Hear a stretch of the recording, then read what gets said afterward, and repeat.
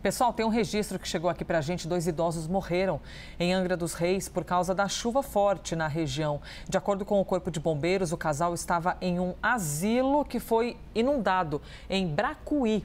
O temporal, aliado a uma maré é, maré cheia provocou inundações no bairro entre a noite de ontem e a madrugada de hoje. As informações preliminares apontam que a água subiu muito rápido no asilo e que as vítimas não conseguiram fugir para o segundo andar do imóvel.